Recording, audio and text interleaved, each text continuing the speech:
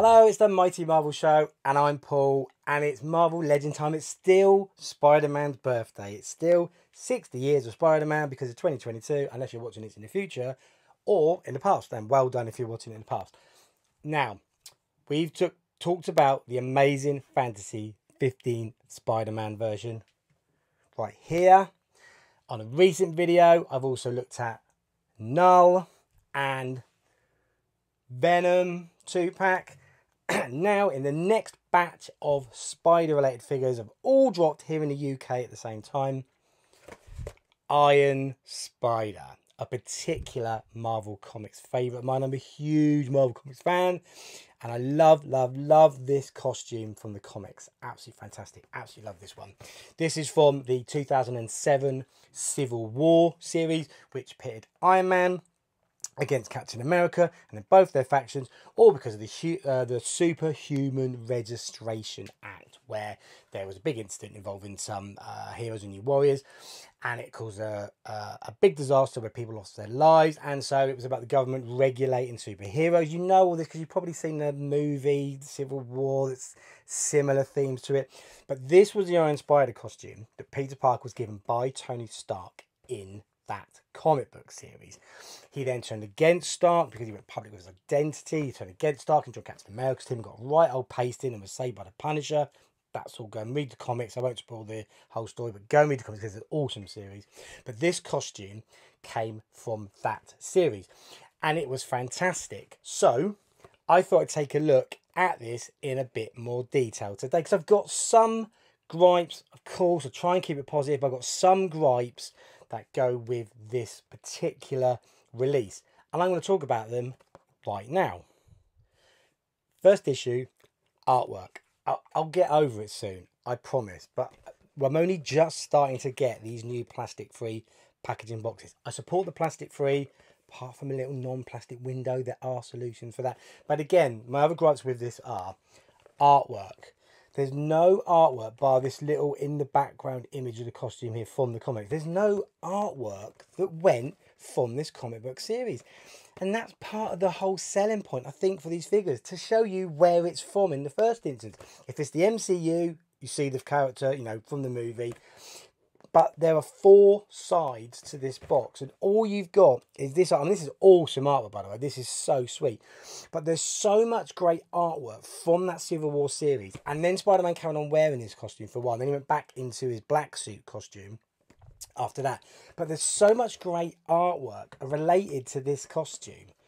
They're just missing a trick either put it there and then that's your feature point for the box or do both sides with different artwork or I think do it on the back because then you've got the figure here. My preference would be artwork on the front that's what you're getting. Then on the back you've got the figure because it equally tells you about the accessories on the back there for what you've got. And that is my next point accessories. I'm going to open this up and i'm going to take a proper look. But this was 35 quid in the uk 35 quid. Okay, is less plastic, so it should be cheaper to produce. It's a brand new figure that we've not had for, for, for many, many years. And there is just one extra set of hands. Thwip hands. Where's this splayed hands gone? Yes, I've got other figures that I could use the splayed hands for. Sure. And one of them is right there. You've got the Captain America 20th anniversary. But come on. Just put the splayed hands in. We know you're making it now. All the other figures are getting them. Just put splayed hands in. Because the thing is, this looks a slightly different red than what you've got on this cap here. So it's not going to match as well. So £36, that's almost double what the standard price of a Marvel Legends figure was this time a few months ago. So let's give us more. Yes, you've got the spider arms that come with it. Sure, of course. But you're getting that anyway because that's part of the character. Give us the extra hands. Or give us a head. Give us a Peter Parker head as well. Or give us different eyes that go with it as well. Anyway, gripes over, but £36, that's one of my biggest problems with it. I hope the figure's awesome, so now I'm going to have a look. Right, these days the plastic-free packaging boxes, they are easy to open. Slip the sellotape off there and then one at the bottom. So they are easy to open. But again, with these things, again, at the top, yes, I know they hang them up there. But honestly, just give us G.I. Joe boxes. Beautiful, just perfect. Look, perfect square box, rectangular box, flat, stack easily. You can stack them on top of each other on the shelves if need be. You can cut that little plastic hook off that sees them hanging up easily. It's job done. Anyway, again, oh, I've got to stop griping. Sorry, trying to stay positive. £36. Anyway, so open the box up. What we got? Let's take that out. Okay, box done. We're in our plastic free packaging again. Let's open this out. Okay. So there's the spider legs, spider arm tentacles at the back there. Are they tentacles? Spiders have tentacles? I don't know. There's the spider arms at the back. Open up. Figure out. Check there's nothing else in there. Okay. Crunchy, crunchy, crunchy paper. Here's our figure. Somewhere there's hands. Hmm. Somewhere there's hands. I'll find the hands in a minute. Okay, right. First impressions. It's a good red. Isn't keeping coming. Oh, moves well. Just got to do the obvious. There he is. Put in there now. Just going to do a little bit warming up with this figure. And then we'll start moving in and posing around. And equally, I've got to find the hands. Hmm? Buried at the bottom of the box, right at the back, were the hands. This was about to be a very different video, believe me. This was about to be, a, are you kidding me, Hasbro? Where's the hands? But I found the hands. So let's just quickly crunchy, crunchy, crunchy them out of the bag. So yeah, okay. So there we go. There's our thwip thwip hands. And then here are our spider legs. Okay, so going to give them a little warm as well. Let's get them on the figure and let's go. Right, I've warmed him up and here he is. Okay, so I've put two of his spider arms in already.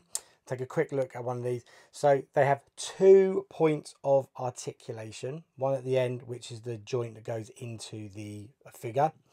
And then at the top end, they have another one there. Now, it would have been really great to have had the middle part there articulate, but it doesn't. So so they're always going to be that high on the figure. So you can't really get them right in around him. In terms of how they go in the back already, so there are these sockets on the back there that you can see right in there like that. Okay. And then they're similar to hands, but a bit a bit chunkier. See on there as well. And then they just push straight in to that bit. And there you go. And then they sit, they push right in on there. And they obviously move around within swivel side to side to side. So, so there is Spidey. The figure itself, let's just uh, get him out of out of that pose. So the figure itself, um, I like the feel to it. It is a nice softer plastic. Uh, there's similarities to the, I will need to check the similarities to the Spider-Man 2099 figure, the recent release one, which is out of the retro uh, animated series wave, which I wasn't overly keen on because articulation isn't good. This body is much better. This actually has a good ab crunch. You get right down, crunch right up into that into that position over there. There you go. Look at that. Right, right over into that position, and it goes back as well. So head goes right back, which is great and then it goes right back. So that is excellent. So in terms of flying through the flying through the air, that's good. So there was some really good uh, posing on him. I stuck a thwip thwip hand on him there as well. And you've got so you've got double double knees. Go back that far. The hinge is quite decent on the on the foot, but can't get the thigh. It doesn't drop out. So you can't get the thigh up any higher than that, which is a bit of a shame because you really want to get him into that, you know, as we all love doing with our Spider-Man Marvel Legends is you want to get that thigh right up and get it tucked right in under his under his body really. So that is a bit of a um a missed trick on there but to be honest well that was popped out didn't, didn't have it in well enough. That was the one I was just talking about. So there we go straight back straight back in. Um in terms of how he stands on these, yeah, you can sit him onto sit him onto these to just get the right angle. Those again, they would have liked the fourth point of articulation on them. I do like the color scheme. it is very accurate to the comics. It's almost like more of a sort of bordering on a sort of pink type style with it. And I just I really love this this costume. So yes, I love a Spider-Man figure. So I'm really pleased to get this. I've I've missed out on previous Iron Spider versions, and I really really love this. So I am I am pleased to get it. There are some major missed opportunities with it though, and that is extra hands and maybe a head and an extra articulation point on the uh, spider arms here. So missed opportunities. I think that's uh, that that's a real shame. I am going to enjoy it. I am going to have fun with this. I'm going to probably get it up on the shelf at the back there, probably on a stand, and obviously make use of the spider arms because they're quite a quite a feature for that as well. Um, but a missed opportunity. I think that I think they could have done a bit more. And thirty six pound. I'm gonna say again, thirty six pound. Seriously, I would have expected more in the box. At least another head, definitely another pair of hands. I mean, I thought that was standing now. I thought we moved past it. I thought standing now. I know it's a first world problem, but it's my first world, so I'm just moaning about it.